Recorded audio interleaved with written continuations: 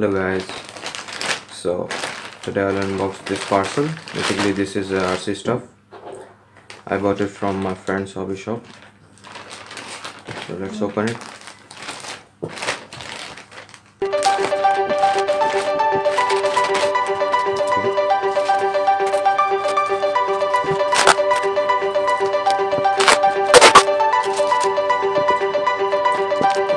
Let's do this.